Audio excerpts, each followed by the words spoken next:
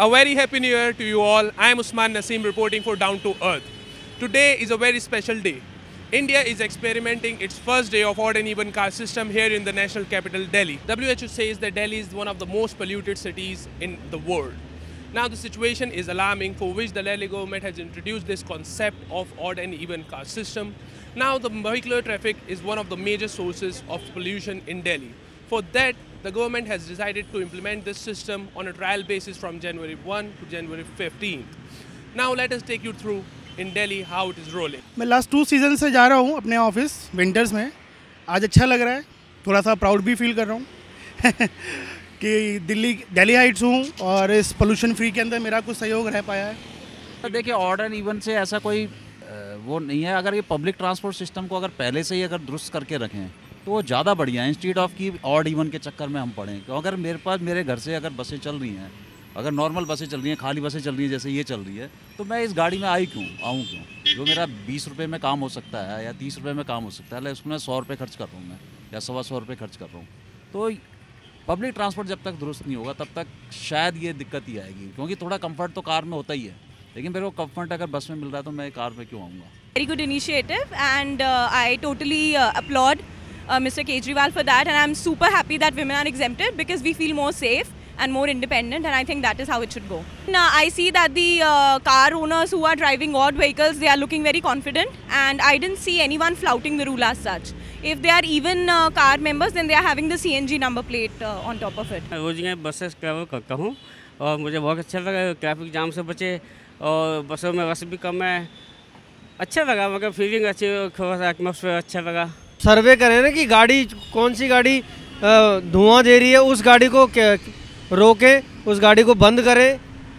अगर पॉल्यूशन ही ख़त्म करना है, अगर, और डीजल गाड़ियों की टाइम टू टाइम जो है अपनी चेकिंग होनी चाहिए। आप अगर पूरी दिल्ली में एक एक दिन का अगर सर्वे करेंगे, आप बाइक पे अगर या कार में घूमेंगे तो आपको जो है 90 परसेंट धुआँ देती हुई गाड़ियाँ दिख जाएँगी। 90 परसेंट आज लगा ट्वेंटी परसेंट, मैं बता रहा हूँ आपको, ट्वेंटी ट्वेंटी मिनट का फ़र्क लगा मुझे आज के टाइम में। आज भीड़ नहीं मिली। हाँ रोड्स क्लियर है क्योंकि आज ऑड नंबर वो गाड़ी चल रही है ना आज।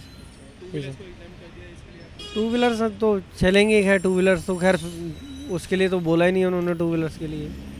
सर, मैं यहाँ सफ़ाई करती हूँ, रोज़ डेली सुबह आती हूँ, दोपहर तक रहती हूँ। और आज ट्रैफ़िक में बहुत ज़्यादा अंतर है और धूल मट्टी भी कम है। और रोड भी खुला पड़ा नहीं तो जाम रहता है इस टाइम चारों तरफ़ से यातायात बहुत चलता है प्रदूषण बहुत फैलता है। आज धूल मट्टी बहुत कम है और भीड़ भी बहुत कम है। अच्छा लग रहा है आज काम करने में भी अच्छा लगा हमें जगह मिल रही है। बिल्कुल बिल्कुल फ़र्क है इस चीज़ का। अब गाड़ियाँ ऐसी नहीं आ रही जो कानून का उल्लंघन कर रही हो। सब ठीक ठाक है। अभी सुबह से हमने देखा कोई गाड़ी हमारे को नहीं मिली ऐसी जिसको हम कैच करके चला सर बहुत फ़र्क लगा हमें। बहुत फ़र्क लगा रोड पे आधी से ज़्यादा गाड़ी नहीं है। काफ़ी रोड खाली जिस टाइम पे इस टाइम पे अक्षरधाम पे काफ़ी ट्रैफ़िक रहता था बट अब कोई ट्रैफ़िक नहीं है पूरा रोड क्लियर मिला है। बात सवारी भी नहीं है बात यह है कि बात प्रदूषण की है क्योंकि हम तो कम से कम 10-12 घंटे हम रोड पे रहते हैं तो काफ़ी धूल प्रदूषण हमें भी सहना पड़ता है तो उससे हमारी भी सेहत को फ़र्क है तो इससे हमारी क्या सभी सेहत को मतलब फ़ायदा होगा? ट्रैफ़िक जाम से भी मुक्ति मिलेगी। हाँ जी। अच्छा यहाँ पर आई टी ओ बत्ती भी अच्छे निज़ाम है। और राजघाट की तरफ़ से आया हूँ मैं।